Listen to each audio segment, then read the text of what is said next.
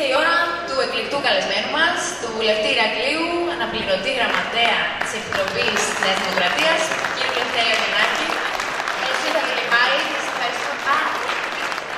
Καταρχήν να σας ευχαριστήσω όλους και όλες διότι σήμερα αποδείξατε ότι τη Νέα Δημοκρατία και την αγαπάτε και την υπηρετείτε και δεν σας εμποδίζει ούτε ο καιρός, ούτε τα τριήμερα, ούτε οι δυσκολίες που ομολογουμένως υπάρχουν στη σημερινή ημερομηνία που επελέγει μόνο και μόνο για να είμαι εγώ εδώ πέρα, έτσι μόνο το 30 ε;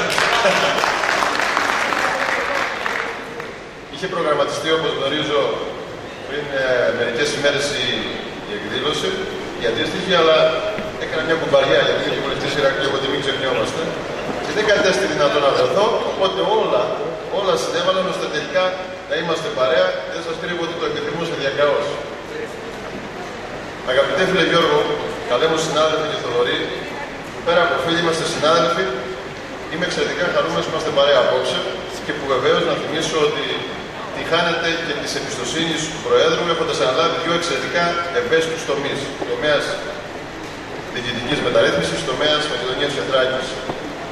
Αγαπητέ φίλε Πρόεδρε, αγαπητοί δήμαρχοι, άνθρωποι της αυτοδιοίκησης, που τελικά σηκώνετε βάρος πολύ μεγαλύτερο από αυτό που σας αναλογεί, το φέρετε πέρα, σας ευχαριστούμε πάρα πολύ. Διότι εσείς κρατάτε αυτή την ώρα την Ελλάδα όρθια, ιδιαίτερα εδώ στο Κυρκή. Κομματικά στελέχη, φίλες και φίλοι, θερμά σας ευχαριστώ για την απόψινή βραδιά, για το θερμά σας καλωσόρισμα στην τριήμερη περιοδία που πραγματοποιούμε τους εργάτες μου στην Κεντρική Μακεδονία.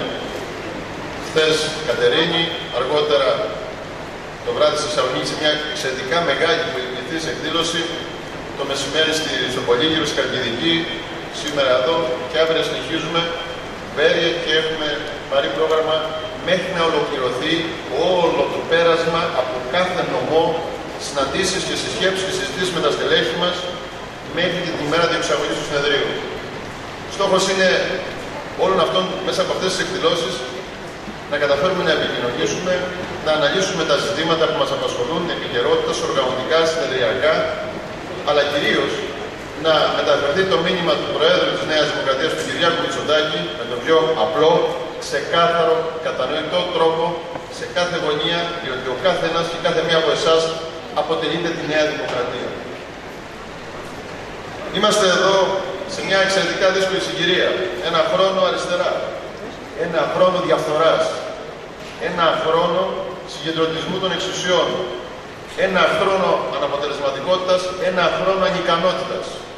Ένα χρόνο αυτή η επικίνδυνη παρέα, επικίνδυνη, εξαιρετικά επικίνδυνη παρέα, να προσπαθεί με κάθε τρόπο να εφαρμόσει μια πολιτική η οποία ομολογουμένως Όσοι τους ακούγαμε, όσοι τους ακούγαμε στα φοιτητικά χρόνια λέγαμε «Μα τι είναι αυτά που λέτε τώρα, αυτά δεν γίνονται». Τελικά όμως όλα γίνονται στο μανδύα, με το μανδύα του κοινοβουλευτισμού, με το μανδύα των δημοκρατικών διαδικασιών, βήμα-βήμα χτίζουν ένα σκληρό, κομματικό, αριστερό, απόλυτα κατευθυνόμενο σύστημα, το οποίο δεν θα προλάβω να το υλοποιήσω. Είμαστε βέβαιοι γι' αυτό.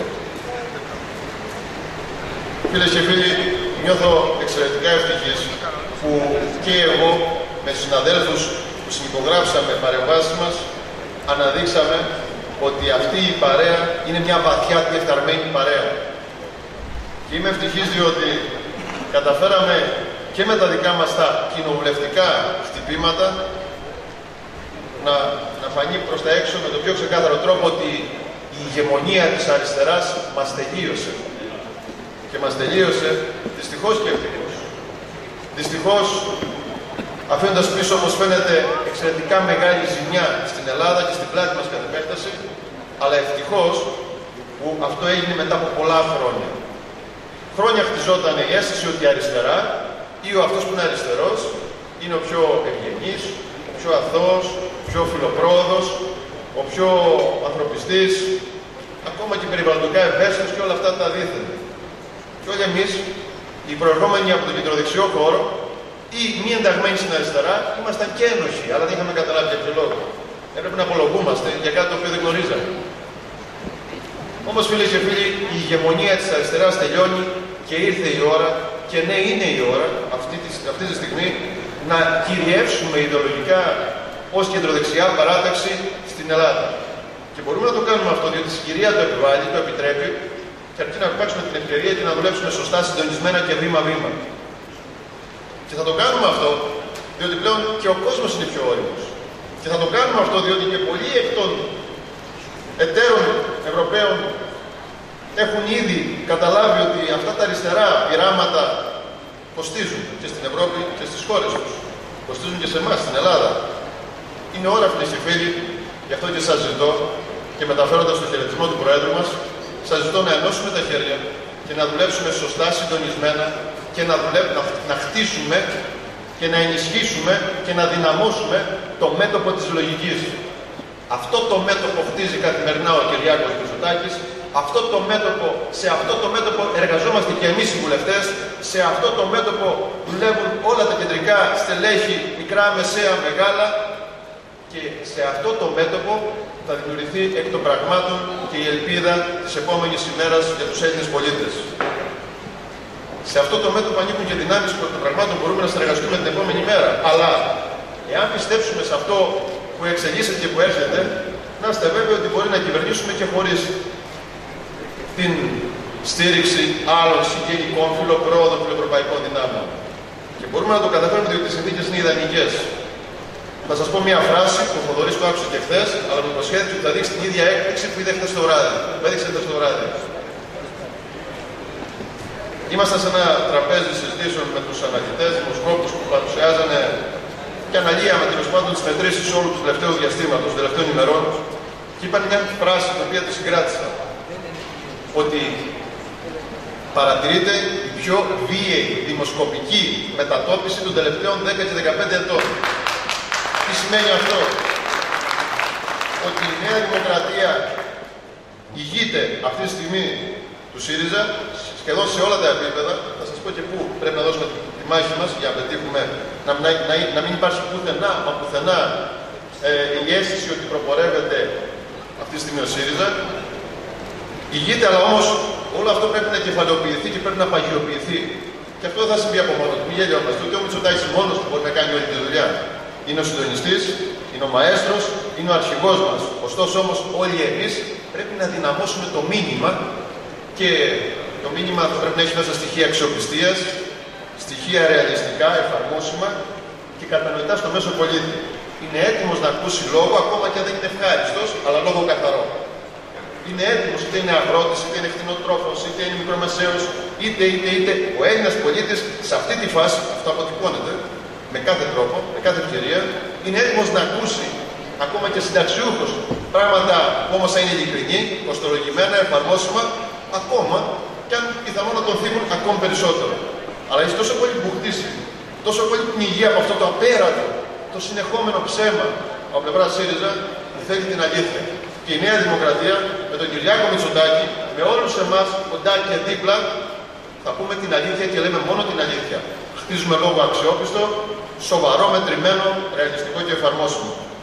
Φίλες και φίλοι, θα αναφερθώ σε δύο-τρία κομβικά σημεία των τρομάτων από το, απασχολούν την, την πολιτική επικαιρότητα πριν πω στα, στα εσωτερικά μας και στις διαδικασίες των προστατηριακών διαδικασιών που εκ των προμάτων απασχολούν πολλά από τα κομματικά μας τελέχη. Το προσφυγικό. Φίλε και το Κυρκής έχει δείξει τον ανθρωπισμό του. Έχετε δείξει την ψυχή σας, έχετε δείξει την ευαισθησία σας, αλλά δεν φτάνει όμως αυτό για να καλύψει την ανυπαρξία του κράτους. Δεν μπορεί δηλαδή ο άνθρωπος, ο άοσμος, ο ανίκανος, ο αναποτελεσματικός πρωθυπουργός, συν οι σχετικά, οι σχετικά, κατά, οι κατά τύπων αρμόδιοι υπουργοί, να περιμένουν μονάχα από τους δημάρχου, μονάχα από τις τοπικές κοινωνίες και μονάχα από εθελοντικές οργανώσεις δεν καλύπτεται το κενό. Και ένα δεύτερο, δεν μπορεί να, να, να φορτώνεται μια περιοχή ένα πρόβλημα που ακούει σε μερικές χιλιάδες, δεν ξέρουμε πόσοι, σε μερικές χιλιάδες συμπολίτες, φίλους, πρόσφυγες, αλλά και μετανάστες που παρανόμως έχουν εισέλθει στη χώρα μας και που να αρνείται συστηματικά να κάνει το διαχωρισμό. Είναι άλλο ο πρόσφυγας, είναι άλλο ο παράνομο, πα, παρανόμως ερχόμενος μετανάστης στη χώρα μας.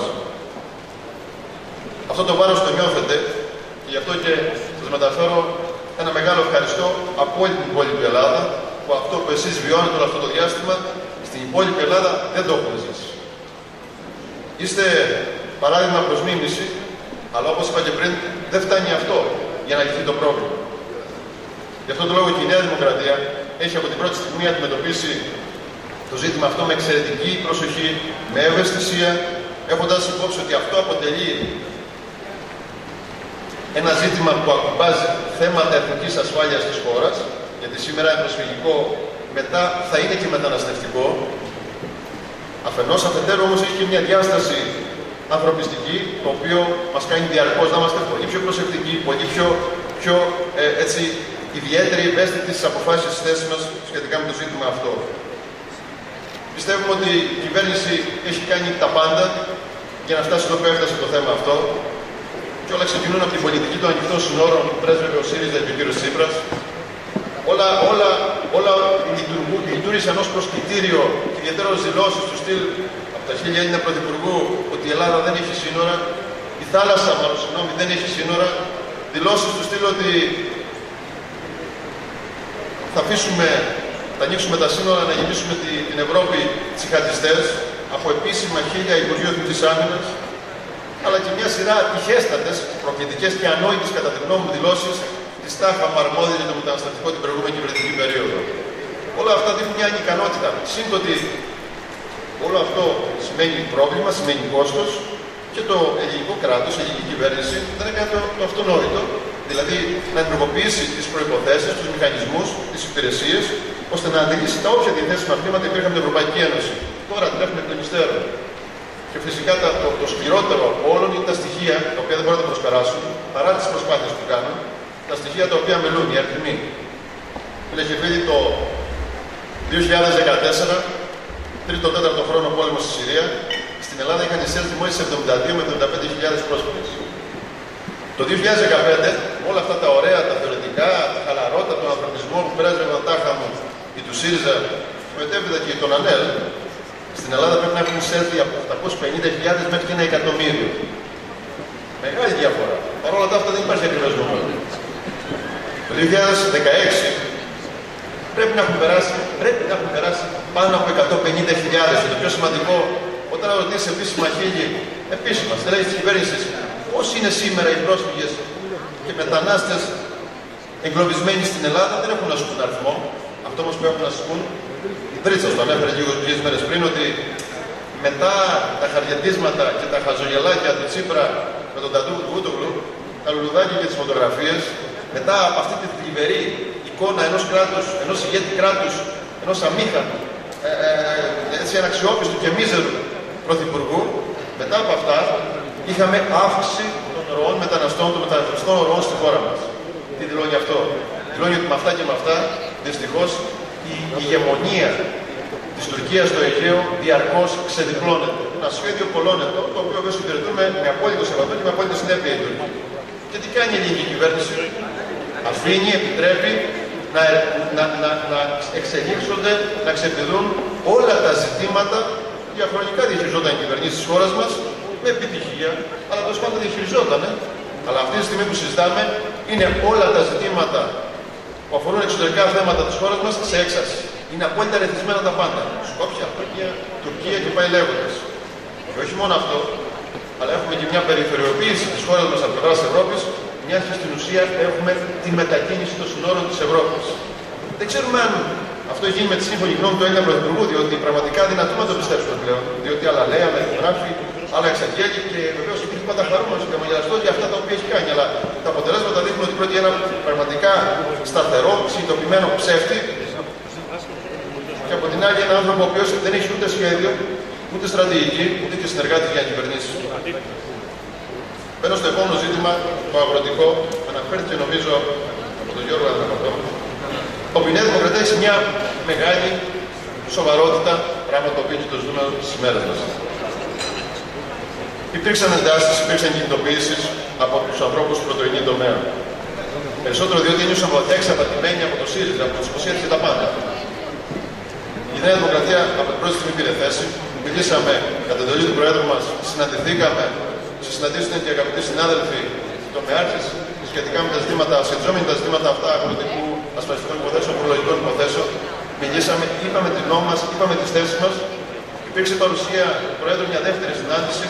Υπήρξε και μια τρίτη συνάντηση όπου εκεί απαντήσαμε γραπτός σε όλα τα ζητήματα που είχαν καταθέσει λίγο πριν οι λογείς λογείς αντιπροσωπείες αγροτών, φτηνοτρόφων, αγγιαίων κτλ.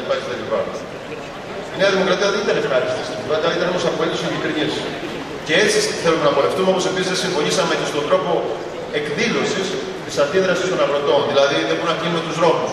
Ήταν πρόσθετη εμεί σαφέστατη θέση μας. Δεν μπορούμε να, να, να, να χαιρόμαστε του προβλαγισμού των βουλευτών του ΣΥΡΙΖΑ, των κυβερνητικών βουλευτών. Αυτοί οι άνθρωποι εξαπάτησαν τον κόσμο. Είναι αλήθεια. Όμως αντί να ε, υβρίζονται και να ε, προπυλακίζονται, είναι σημαντικότερο νομίζω οι άνθρωποι που νιώθουν την εξαπάτηση και που τους πίστεψαν το Γενάρη, στο, στο δημοψήφισμα, το Σεπτέμβρη, να καταλάβουν τη δικιά τους ευθύνη.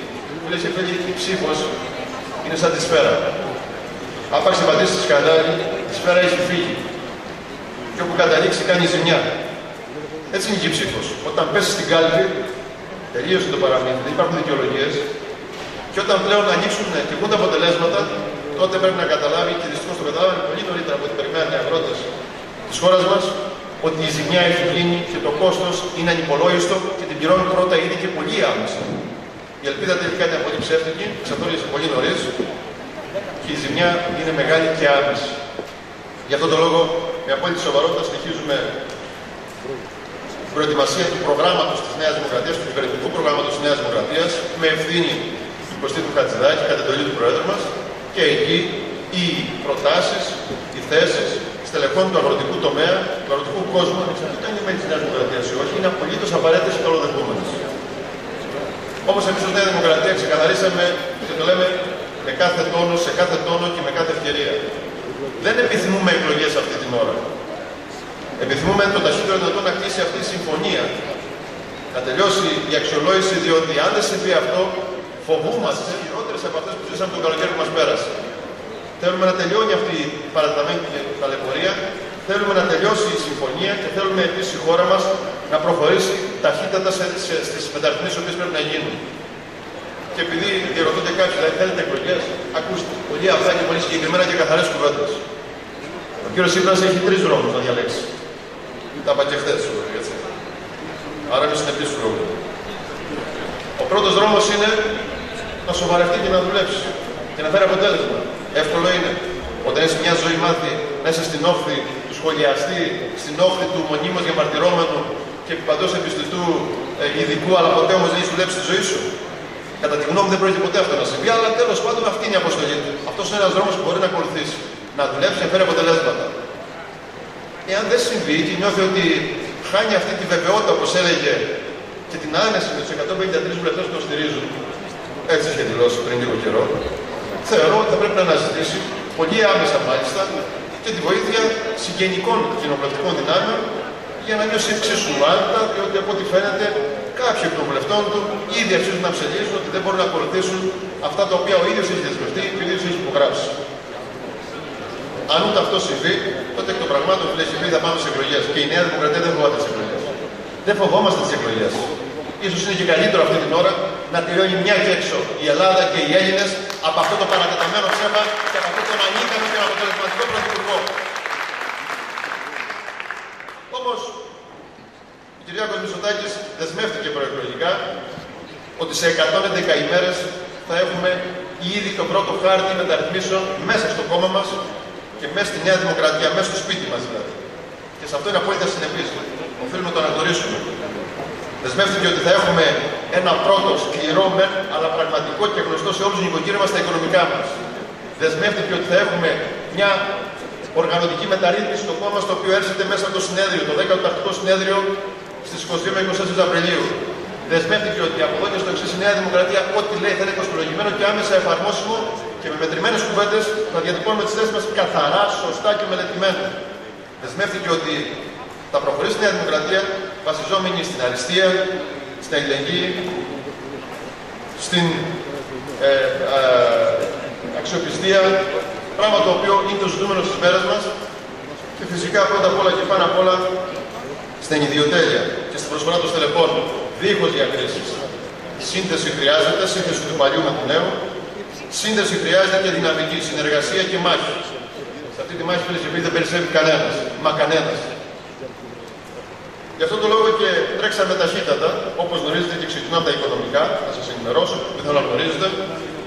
Βρήκαμε χώρους για να μετακατασταθεί πολύ γρήγορα τέλος του Μάη πρώτα ο Θεός τα γραφεία του κόμματός μας. Και έτσι έχουμε μια μείωση της τάξης περίπου, ένα όφελο δηλαδή, της τάξης περίπου το, το ενός εκατομμυρίου ετησίως από τα ενίκια, τα μισθώματα.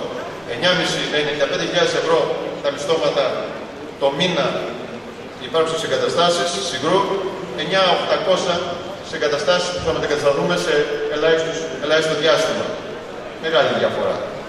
Προχωρούμε ταχύτατα στην καταγραφή, δημιουργία ενός οργανογράμματος, αξιολόγηση, καταγραφή όλων των εργαζομένων μας, γιατί ξέρουμε και πώς είναι στο τέλος τέλος, ώστε να γίνει σωστή αξιοποίηση του ανθρώπινου δυναμικού του κόμματός μας. Για να έχουμε σωστή και κυρίως αποτελεσματική νέα δημοκρατία σε επίπεδο υπηρεσιών, κεντρικών υπηρεσιών.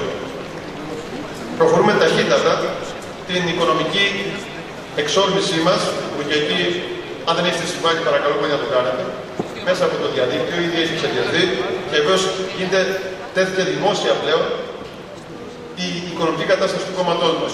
Χρωστάμε 214 εκατομμύρια, το μεγαλύτερο μέρος είναι οφειλέ προς τις τράπεζες και ένα μικρό μέρος προ του προμηθευτέ. Η δέσμευση του Προέδρου, το οποίο υπόθηκε πριν μια εβδομάδα περίπου, που έγινε η παρουσίαση της οικονομική κατάσταση του κόμματός μας, είναι ότι το 70% των χρημάτων από την κρατική επιδότηση θα πηγαίνει κατευθείαν στι τράπεζε, ώστε να γίνουν εξυπηρετούμενα τα δάνειά μας.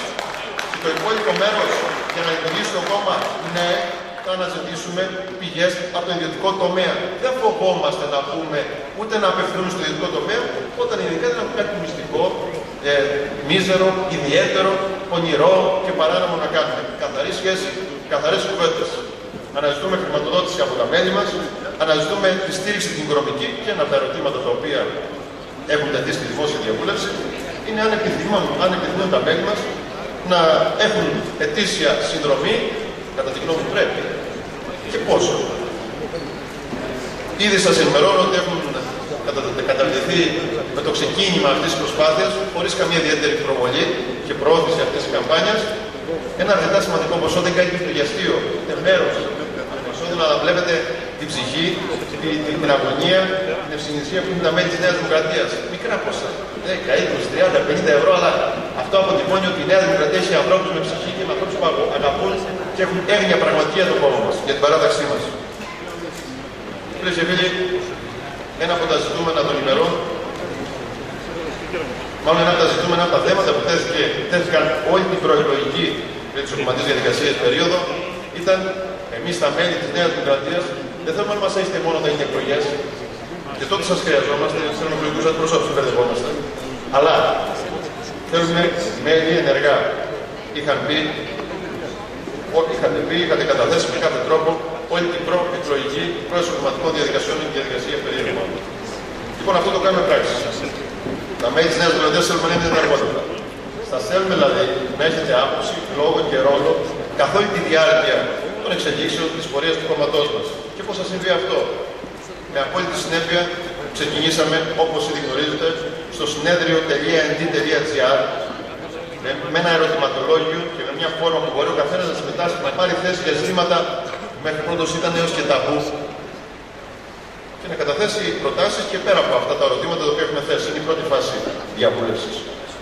Θα ακολουθήσει μια δεύτερη φάση και μια τρίτη, λίγο πριν δηλαδή φτάσουμε στο, στο, στο συνέδριο, όπου θα καταλήξουμε μέσα από όλα αυτά τα ερωτήματα, τα οποία θα αναφέρονται ακόμα και την ετήσια οικονομική εισφορά, ετήσια εισφορά των μελών, ακόμα και τη θητεία του Προέδρου, τρόπους αξιολόγησης του του Προέδρου και μια σειρά ζητημάτων τα οποία, όπως είπα και πριν, παλιότερα δεν τα συζητάγαμε, διότι ήταν πιθανότατα θέμα χαρακτηρισμού ότι εσύ προκανεί την καρέκλα του Πρόεδρου. Όμως τελικά αυτά τέθηκαν από τον ίδιο τον Πρόεδρο, οπότε δεν υπάρχει άλλο ζήτημα.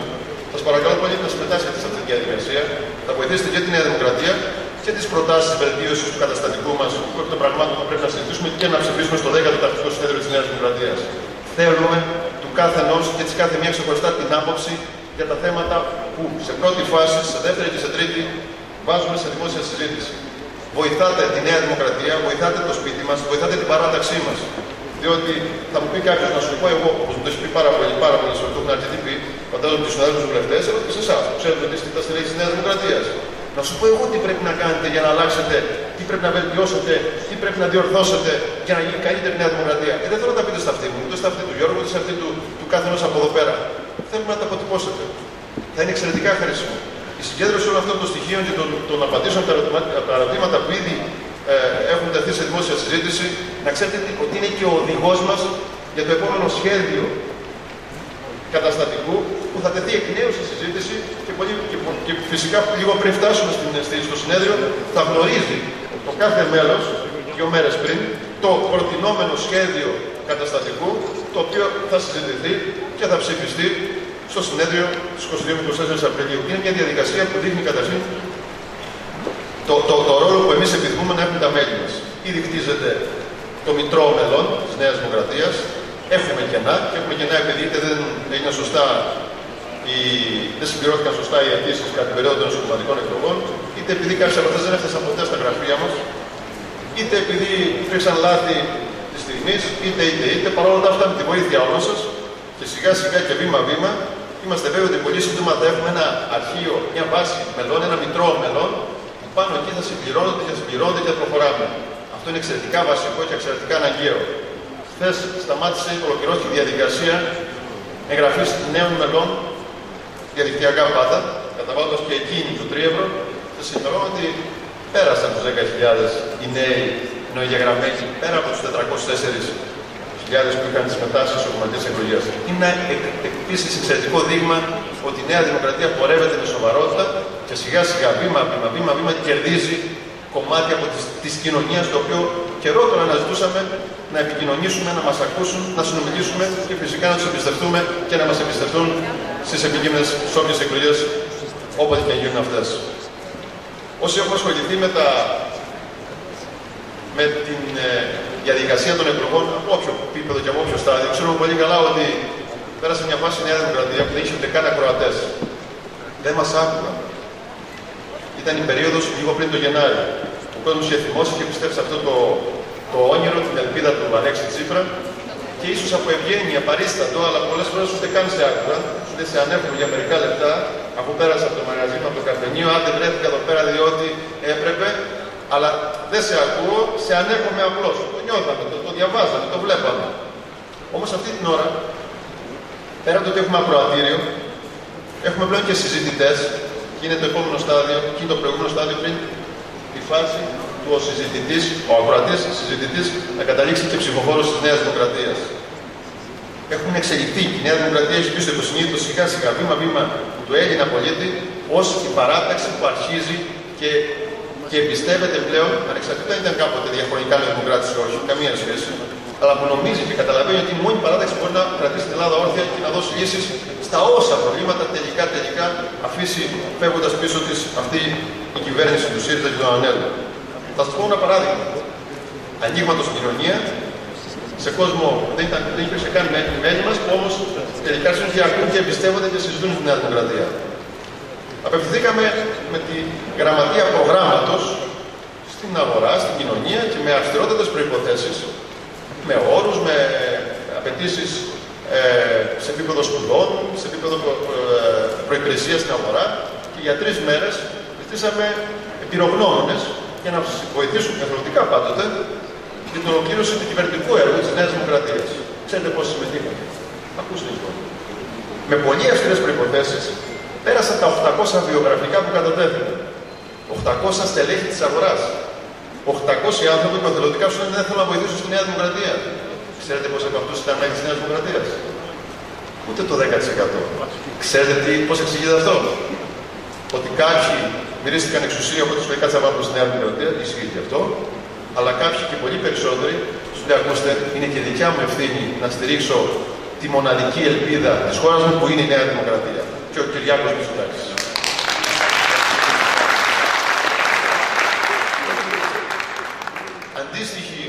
αντίστοιχο άνοιγμα στην κοινωνία θα κάνουμε και με τις υπόλοιπες γραμματείες του κόμματος. Γραμματεία Αυτοδιοίκησης, Γραμματεία Αγροτικού, Γραμματεία Κοινωνικών Θεμάτων, Γραμματεία Κοινωνίας και Κόμματος, Γραμματεία Διεθνών Σχέσεων. Δηλαδή θέλουμε να ανοιχτεί η Νέα Δημοκρατία μέσα στην κοινωνία, να πάμε εμείς στην κοινωνία και να πετύχουμε την πραγματική διεύρυνση. Και μια αναφορά τώρα, διότι γίνεται πολλή συζήτηση, διάβαζε τις μέρε εφημερίδες κάποια στιγμή στο αυτοκίνητο διάφορα ονόματα που παίζουν, θα πάρουμε αυτό, θα, μεταγρα... θα κάνει μεταγραφή στη Νέα Δημοκρατία, ο Τάδε, η Δίνα. Ακούστε λίγο. Η διεύρυνση της Νέας Δημοκρατίας έχει ξεκινήσει προεκλογικά. 120.000 και κάτι ήταν τα μέλη που εγγράψαν για πρώτη φορά στην Δημοκρατία και συμμετείχαν στη σωματική διαδικασία. Δεν ψήφισαν μόνο τον Κυριακό. Να είμαστε ειλικρινείς. Πολλοί από αυτούς γράφτηκαν για πρώτη φορά και επέλεξαν, στήριξαν είτε τον Βαγγέλη, είτε τον Απόστολο, είτε τον Άδωνη. Την άποψή μου και για τους τέσσερις υποψηφίους, για τους τρεις πέρα από τον Κυριάκο, τον οποίο στήριξα προσωπικά και γνωρίζετε, δεν το έγραψα ποτέ, την ξέρετε και την επαναλαμβάνω και τώρα δημόσια. Κάνοντας μια παρένθεση. Ο Βαγγέλης Μημαράκης, ξέρετε πολύ καλά ότι υπηρέτησε πάντα το κόμμα μας ή την πατρίδα, οποτεδήποτε τους ζητήθηκε και οποιοδήποτε αρχηγό τους ζητήθηκε και τον ευχαριστούμε για αυτό δημόσια.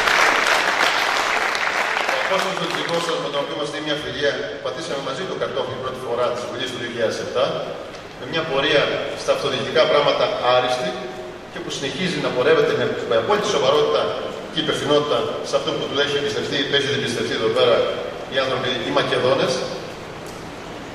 Και ο Άδωνης ο Γεωργιάδης με τον οποίο μας είναι μια φιλία που δεν συμφωνούμε σε πολλά από αυτά που στηρίζει, αλλά όπως το αναγνωρίζουμε το πάθος του να στηρίζει και να εμπιστεύεται και να, και να επιμένει με επιχειρήματα πάντοτε για τη γνώμη του και τη θέση του. Ακόμα και ξέρω ότι απέναντι του είναι ένας συνομιλητής και αυτός διαφωνεί. Αλλά θα πει τη γνώμη του και θα το πράξει μέχρι τέλου και μπράβο. Όμως και οι τρεις συνεπέστατοι, τι είπαν, και σήμερα το τηρούμε ευλάβεια, ότι όποιος και αν είναι την επόμενη μέρα ο αρχηγός, θα τον στηρίξουμε με την ίδια υπευθυνότητα όπου οφείλει να κάνει ο κάθε υποψήφιος. Το πράττουν και αυτό τους τιμά και του αναγνωρίζουν.